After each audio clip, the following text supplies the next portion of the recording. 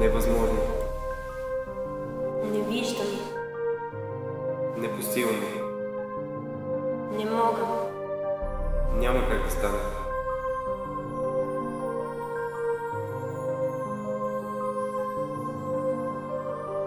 Казвал си ги. Чувал си ги. С тези думи светът и съзнанието ти имат граници. Затваряш се в тях и не си позволяваш да се промениш към по-добрата ти версия. Отказваш да повярваш във всичко и в себе си. Оценяваш се.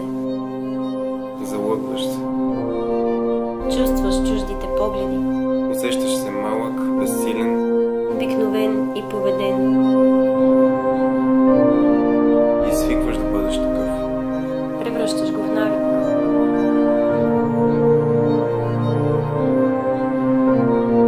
Накрая Навеждаш глава надвит от страховете си.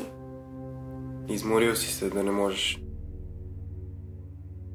Но след края, Идва решаващият въпрос.